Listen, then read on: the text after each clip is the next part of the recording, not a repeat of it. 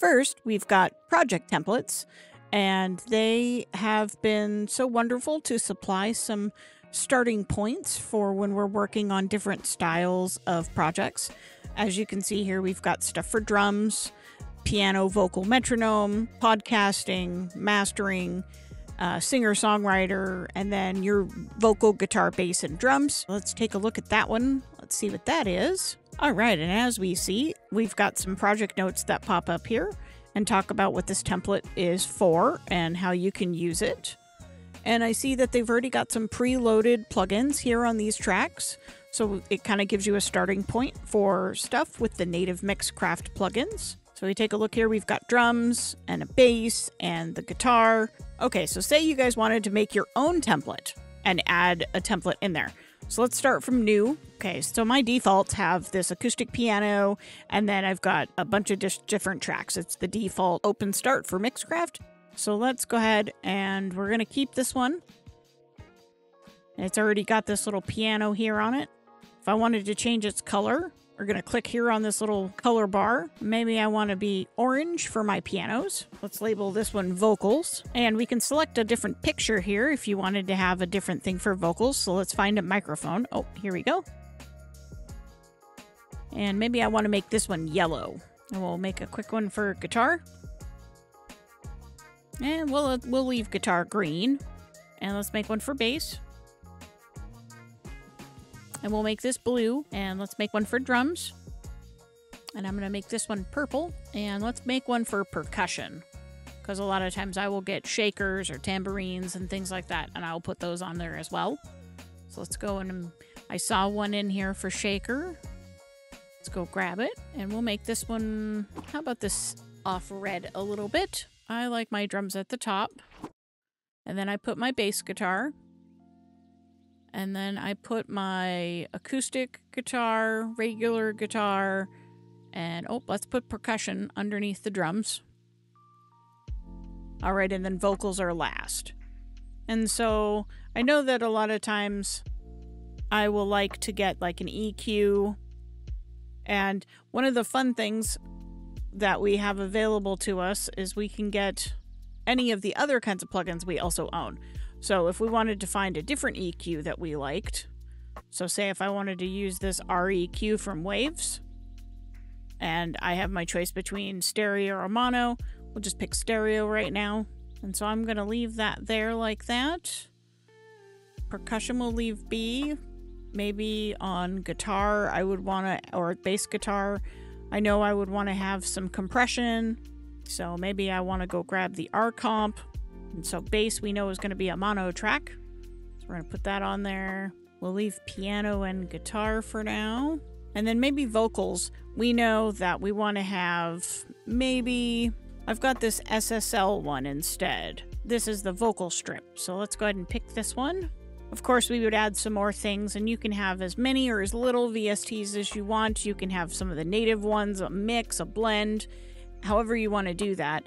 Now, how we can save this as our own project template, if we click on File and we come down to Save As, when we go save it, you see I've already made a file for my templates. So we're going to click in here. I'm going to name this. And then we get an option here to drop this down right here. And we have another option right here for Mixcraft template. So if you see that, we're going to click that. And now you'll see where all the other ones also popped up that Mixcraft now just downloaded with the 10.5 update. So we're going to save my template in there as well. And now we've done that. We're going to make a new project. And then if we go over here and we see it now here, we can click on that. We're going to click select. And there we are. We've made our own template.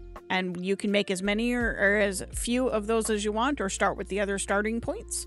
All right, moving right along, we've got our next up thing the Mixcraft store and points systems. So we've had some upgrades to the store. I noticed that we have a lot of different plugins that we can purchase now from the Mixcraft store directly.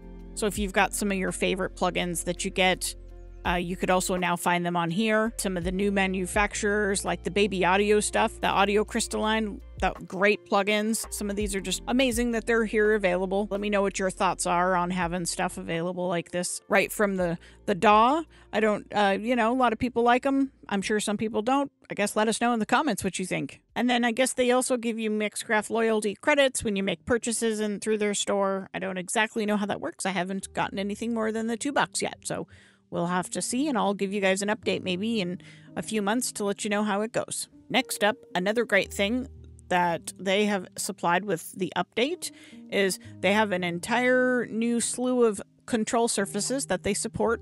So we've got some of the Novations and the Mackies, and we've got quite a few other ones available now. Another update that we have to Mixcraft 10.5 is the stem separation tool. And uh, this sounds really awesome. The uses for this would be incredible because we would be able to take already made songs and make separate stems of them. Uh, they're saying that, yeah, it'll make a vocal track, a drum track, a guitar track, and all those separate tracks. We can even take some of our older recordings and then try to make separate stems of them, say if we were re recording parts and stuff like that. So let's see and check out how this works. I've got a track here that I've dragged into this session, and it is a stereo mix of a song called Households that I've gotten from Produce Like a Pro, and Joe Carroll recorded this song. We're going to see if the stem separation tool breaks this down into its separate categories. If we take a listen real fast,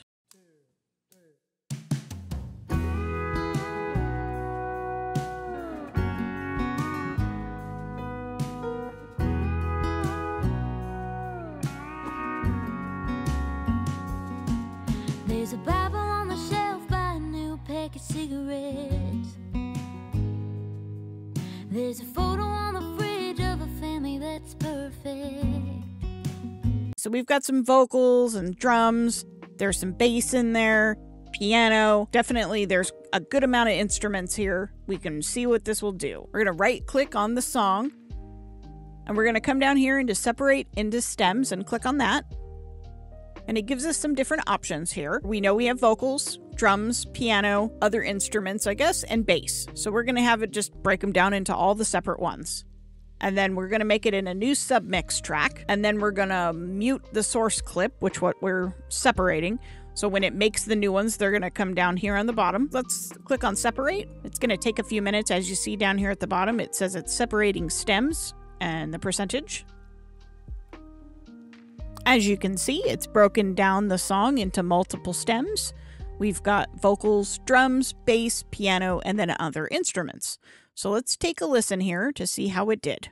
We're going to listen to them first all together.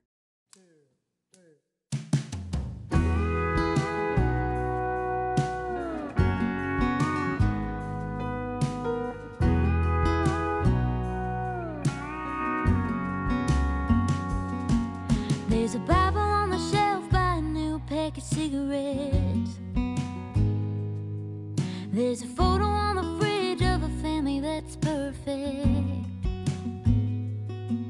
But Okay, so first impressions. I definitely can hear that there has been some adulterating to them. They do sound a little bit compressed, a little bit different than the original, but just ever so slightly. Uh, let's listen to them soloed. So let's listen to the vocal. This one would probably, in my opinion, be the most useful because you could take tracks that you are making original things and you can maybe take the vocals out to train a new vocalist. Um, there's there's plenty of options of things that we can use them for. There's a Bible on the shelf by a new pack of cigarettes. There's a photo on the fridge of a family that's perfect. Definitely, I can hear some of the distortion and the processing for the breath of the reverb before she starts singing, but it's not unusable. It could be used and it could be cleaned up and definitely adjusted. Let's listen to the drums. Oh, definitely some compression, distortion. I wonder if there's ways we can adjust those things later. Okay, let's check out the bass.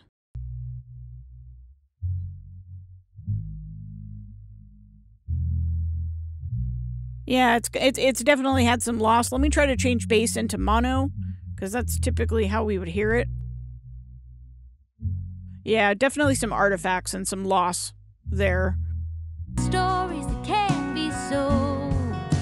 They're more than a household. But altogether, I mean, it definitely broke everything into stems if you were playing all the tracks together and then retracking things. And I can see where this would be a great useful training tool or teaching tool at the moment. I would love to see what this technology will do as it evolves. There are some other AI tools out there for separating full tracks into stems, and I can get into those in another video if anyone would like. Let me know in the comments are you guys interested in AI tech for doing stem separation or any other kind of audio things for AI? Let me know. Let us know in the comments. And finally, we have track regions for selecting, moving, and copying and pasting sections of the project. And I guess what this is really cool for is keeping all your automation points and everything exactly where you want it. What we've done is I've gone through, I've made some cuts on all these at the end. I've just made some generic automation moves just for display purposes. And right here, I've got, this is where my cut is. To activate being able to utilize track regions for selecting, we need to enable our master track. So we're going to click the master track button. As you can see, now we've got the master track up here. And we're going to click on this little top thing right here on this top pink part. And I'm going to actually right click split and then if we grab onto that you see how it's now grabbed everything in that section we're going to go ahead and we can move that down. And you see how all of our little automation points stayed with it? Well, this will be real handy. So say you need to do a different outro and I wanted to move this one down and try a different one and test it out and maybe then, you know, delete some sections and then move it around. This just gives us a lot more functionality of being able to utilize Mixcraft in a whole other way than we were even using it before. So I love this. Great, great, great job on all the updates, Mixcraft. We love you. Thank you so much for all of your wonderful dedication to Mixcraft 10. So we're looking forward to seeing all the new updates. I definitely want to see that stem separation tool thing upgrade and see what it's going to turn into over the next few years. Thank you so much for tuning in for another Mixcraft 10 tutorial with CommonTime Productions.